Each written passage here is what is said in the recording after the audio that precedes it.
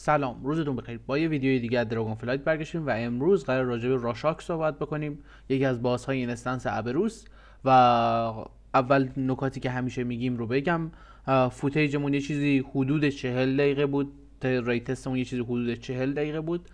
و نکته دوم این که از زمانی که حالا شما این ویدیو رو می‌بینید تا زمانی که boss release میشه و از زمانی که حالا ما این ویدیو رو ضبط کردیم ممکنه نکاتی تغییر کنه. پس حتما حواستون به جدیدترین update های هر boss باشه. بریم ویدیو رو شروع کنیم.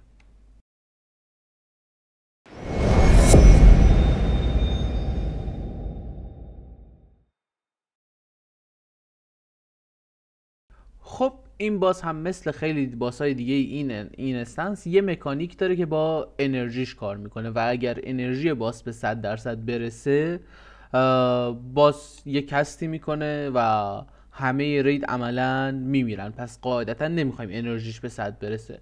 خب اینکه انرژیش رو چجوری می‌تونیم مدیریت کنیم مربوط به spell conduit ه که جلوتر راجبش کامل توضیح میدیم. اما اولین spell مهم این boss یه combo ی به نام Searing Slam. Searing Slam کارش چیه؟ Searing Slam یک player random رو مارک می‌کنه و یک دایره روش میندازه. اون player باید سعی کنه دایره رو به اطراف اتاق روی لبه های اتاق ببره و اونجا drop کنه. و زمانی که حالا این timer تموم میشه یک ستونی از آتیش روی اون نقطه قرار می‌گیره و تا آخر boss اونجا قرار داره. هر حدود ده ثانیه از هر کدوم از ستونهای آتیشمون یک ویو لاوایی خارج میشه که به اطراف میره و اگه بهتون بخوره قاعدتا دمیج میشین. پس نباید توی مسیرش باشین. و همچنین هر زمانی که باس یک ستون جدید سامون بکنه یک ستون لاوای جدید سامون بکنه از تمام ستونهای قبلی این لاوا ویف ها خارج میشه. پس هرچی باز جلوتر بره داج دادن اینها سختتر میشه چون تعدادشون قاعدتا بیشتر میشه.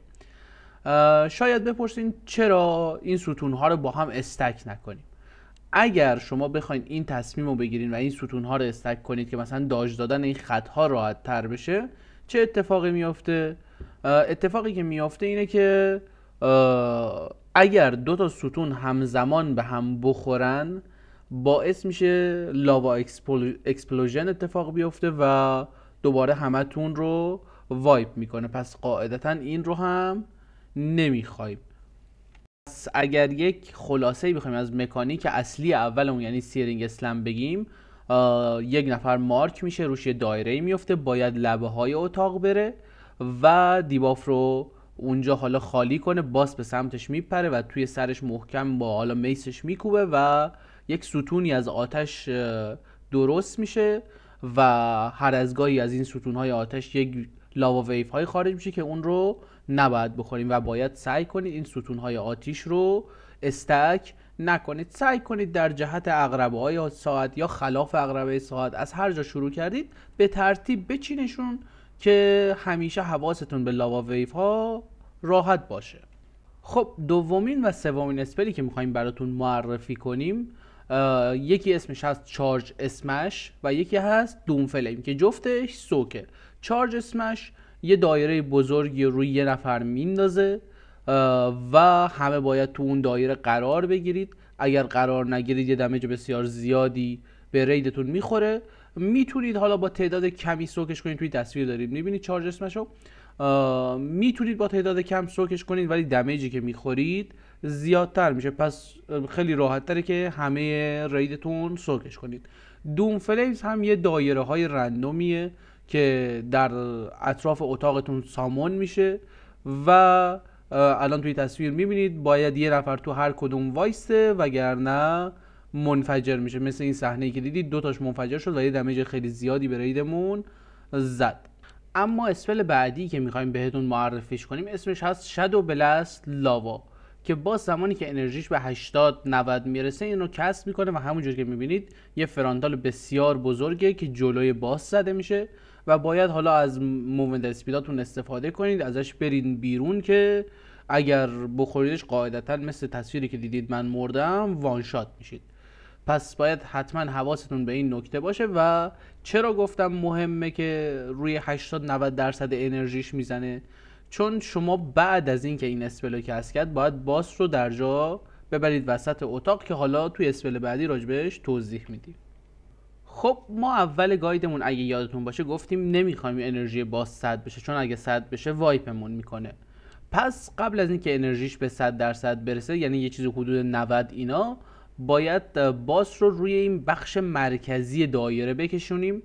و وارد اون بخش مرکزیش کنیم و باس یه حالت استان مانندی میشه و شروع می‌کنه ایوی به ری دمیج دادن و کم کم و کم کم انرژیش کم میشه تا اینکه به انرژیش به صفر برسه و از استان در بیاد و دوباره همون اسپلای قبلی رو تکرار کنه.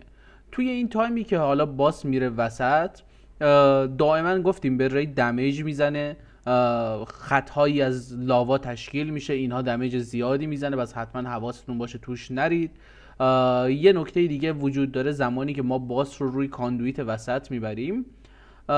بعد اینکه حالا از استان در میاد و کارش تموم میشه یک بافی رو خودش میندازه.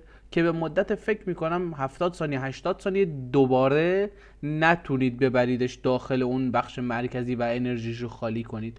و اگر دوباره ببریدش وسط در جا one shot میشید. پس بخش conduit مون چی شد؟ بخش conduit مون این شد که زمانی که boss به 90 درصد 95 درصد انرژیش می‌رسه ببریدش رو بخش مرکزی و boss stun میشه.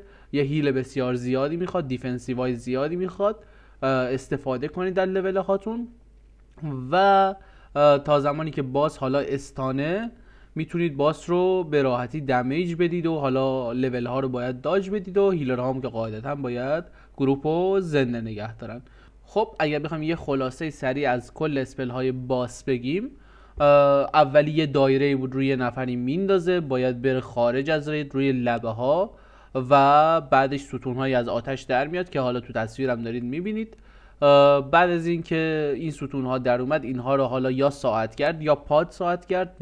بچینید که همیشه حواستون باشه چون ازش لاوا ویف های خارج میشه که ما قاعدتا نمی‌خوایم این لاوا ویف ها رو بخوریم چون قاعدتا بهمون به دمیج میدن و ما نمی‌خوایم این دمیج رو بخوریم. نکته بعدی این بود که دو تا سوک داشت. یکی یه soak دست جمع بود که جمع می‌شدیم soak می‌کردیم. یکی هم دایرهایی بود که به صورت random اطراف اتاق میافتاد. اگه توش وای نمیستادیم یه damage زیادی به raid می‌داد. پس نف... هر کدوم از افراد باید برن یکیشو soak کنن. و بخش پایانی البته یه frontal هم داشت که حالا دیگه تقریبا این روزا همه boss ات از این چیزا دارن چیز نرمالیه تو World of و بخش آخرش هم این بود که زمانی که انرژی boss به 90 95 رسید شما باید وارد بخش مرکزیش کنید و زمانی که وارد بخش مرکزی بشه یه حالت stun مانندی میشه یه ویو هایی از حالا lava و اینا ازش خارج میشه.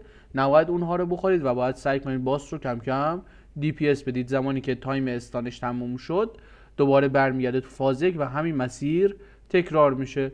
یه boss کاملا نرمالی. یه نکته حالا الان یادم اومد. هرچی جلوتر برید و تعداد این ستونهای آتیش زیادتر میشه damage شون هم زیادتر میشه. پس باید اون تیکه های آخر حواستون باشه حتما از defensive های group wide تون استفاده کنید مثلا barrier priest تا خیلی چیزای دیگه.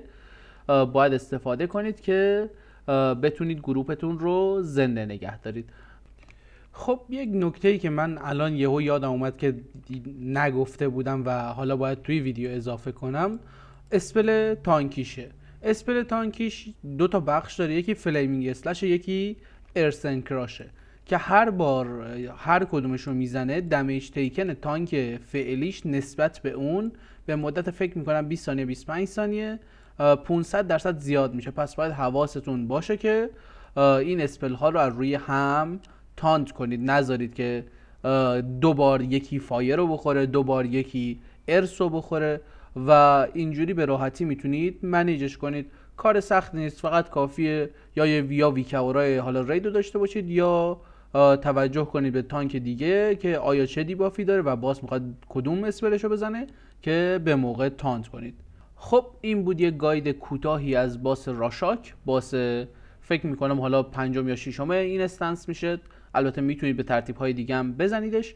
امیدوارم راضی بوده باشید. اگه سوالی دارید توی کامنت ها بپرسید و فعلا خدا نگهدار شما.